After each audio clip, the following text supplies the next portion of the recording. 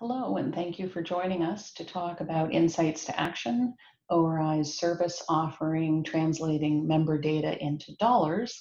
In part one of this two part video series, I'm going to talk a little bit about what we mean by systematic listening, the power of unstructured data mining, and why this AI driven technology combined with ORI's service offerings can bring some pretty substantial results for associations, and I will share just a couple of examples of that.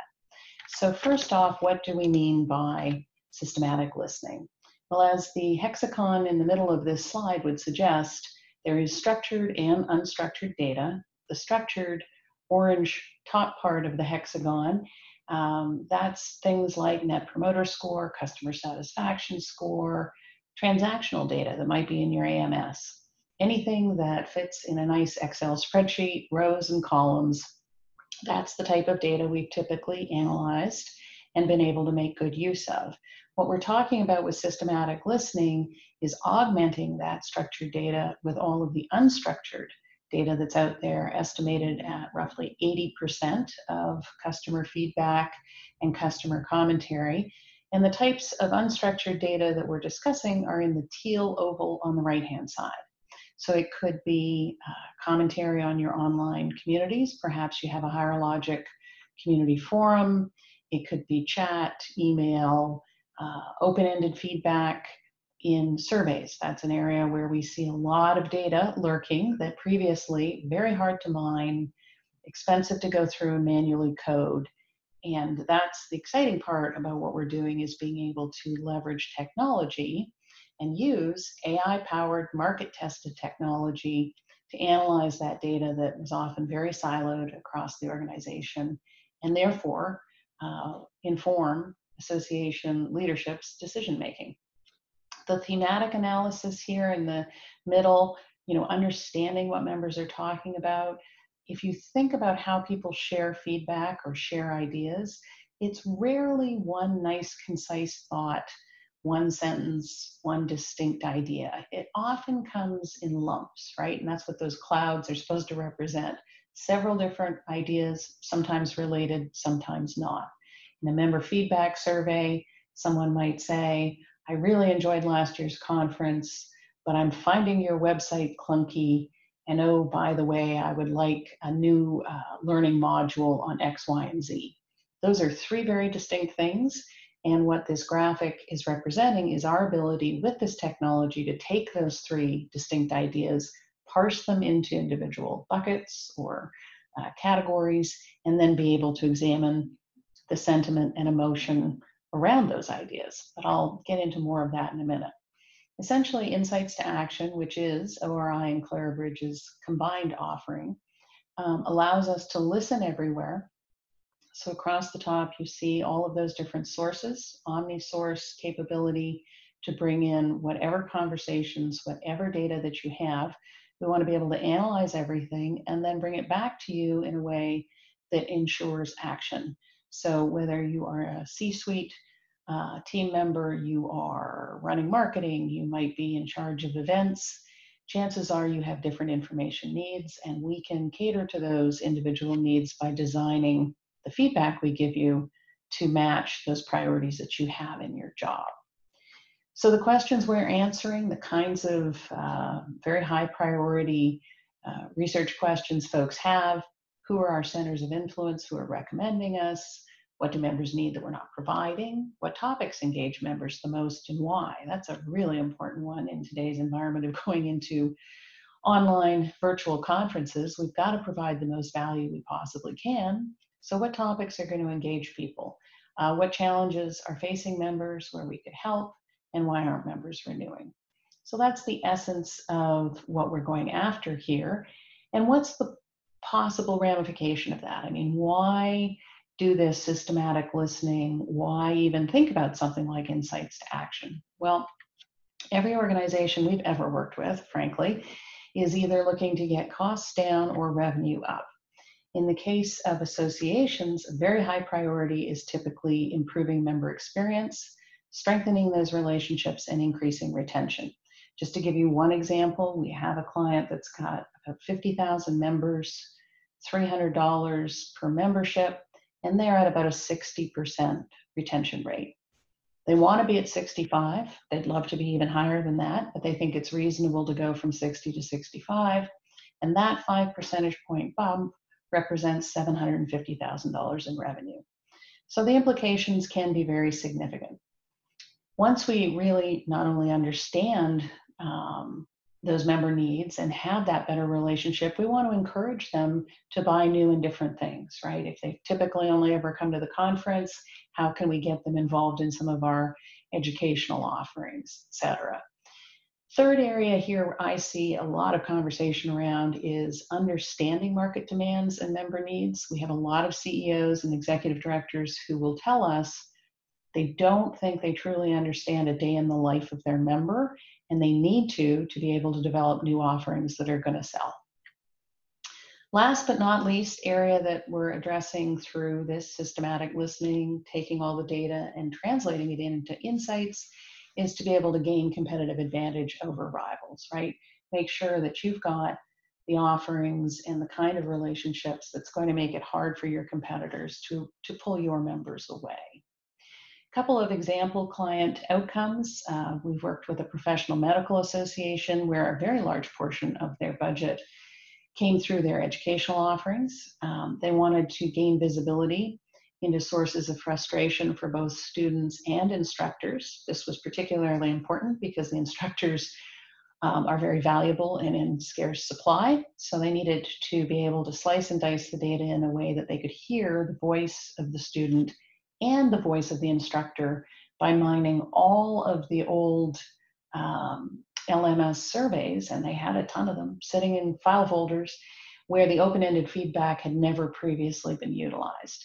And we did that in order to pinpoint sources of frustration to increase that you know, member retention, uh, make sure the customers kept coming back in terms of the classes, and increase market share. For the National Trade Association, slightly different scenario. They wanted to uh, really see into their Higher Logic community forum data in order to be able to meet diverse member needs. And we were able to take um, a couple of different forum uh, commentary sets and quickly identify patterns in terms of member needs. What did the small companies need as opposed to the large companies uh, by type of company, and therefore be able to develop new targeted offerings. So just a couple of examples there of um, what it looks like in uh, applying this new offering and translating those insights into action. In terms of how it works, I'll just quickly go over this. We are always happy to share a demo and to go into more detail. But the reason we partnered with Clarabridge is because of their proven technology. Their uh, advanced industry specific algorithms have been used in every industry you can think of for uh, over the last 12 years. The sentiment analysis is applied at the clause level. I don't want to get all technical and geeky, but let me just put it this way if you take some of the cheaper, less advanced systems out there, they will tell you thumbs up or thumbs down on a whole paragraph of text or perhaps a sentence. And to the degree, as we talked about earlier, there's very different ideas being shared in each clause within a sentence. You want to make sure that the analysis and the sentiment is being attached to the proper themes within each clause. Last but by no means least, level of effort detection. Uh, ORI, we are big proponents of tracking level of effort. We do not believe customer satisfaction and net promoter scores are enough anymore. Level of effort is essentially um, a mechanism for measuring whether your members and your customers are expressing frustration or having difficulty with working with you. Was your website clunky? Uh, was it difficult to sign up for something? Anytime somebody starts expressing high levels of effort, it's a leading indicator that that individual will not be a customer with you in the future. Well proven customer experience uh, insights, and we are able with Clarabridge to look at that level of effort within the language specifically. So we're going to listen, analyze, and act by assigning numeric scores to feelings, right? In the both sentiment and effort, we're going to use a scale of minus five to plus five. And we're going to start putting structure around language, right? We're going to start giving it scores. What does that look like? Let me just give you a quick example. Because sometimes this seems almost like uh, somebody referred to it as hocus pocus. So let me let me show you how it actually works. Right, this is member feedback from a conference. What the technology would do is go through with the natural language processing and deal with any acronyms, abbreviations, misspellings, emojis, right? A lot of systems fail right at that point. They can't handle that. Um, then the, the, the um, algorithms break out and identify themes. So we know that there's a conversation around sessions, expo hall drawings, panel discussions. Those are the things in blue. And then very importantly, as I mentioned earlier, we're able to then attach some sentiment. How are people feeling about sessions and the expo hall and the panel discussions? Um, and assigning minus five to plus five there. So that gets aggregated up across all the different respondents, across all the different data that you have. And then we look for what's the biggest theme? Where's the big, where are the biggest problems? Okay, I'll start wrapping it up here. Um, mentioned before, omni-source analysis. So very important that we gain a holistic view and pull in all of the data that you have. And we can do that using this platform. We can quickly identify negative experiences that matter.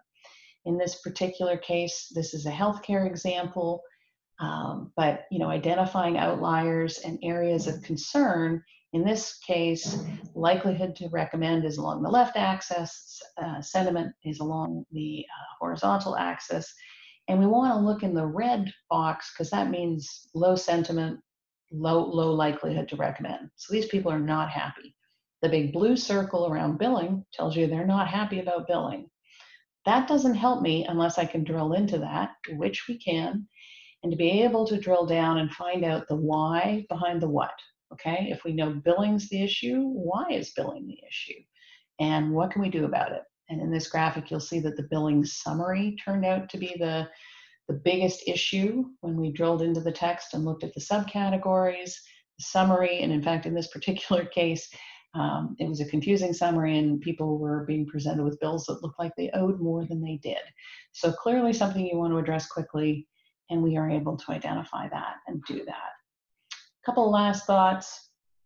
Um, we never want to lose sight of the original commentary, the verbatim feedback, right? So uh, for those that think this does sound a little magical, we can always drill in and go, no, no, it's real feedback, and here it is, and it's attached to the person who said it. We have all the details and the structured data around those individuals, and we can look in and see why the system is saying this is such an important topic in the dialogue. So from raw data to actionable insights in about eight weeks, people usually say to us, so this takes a long time, right? And the answer is nope, it does not. Once we can get at your data, leverage all those data sources along the left-hand side that we've been talking about, then with your strategic objectives in mind, um, be able to identify pain points and opportunities, look at the sentiment, look at the level of effort, check out what they're talking about, what they care about, and bring that back to your uh, leadership team to take action. Again, depending on who is needing this information, the type of analysis we're going to do and the pain points we're going to focus on is going to vary, right? So that's it. I want to thank you very much for um, sharing this short journey with us. If you're in any way interested in a demo or hearing more, we're happy to schedule that. If you would like to uh, go on and listen to part two, I will be sharing a little bit more about specific client case studies.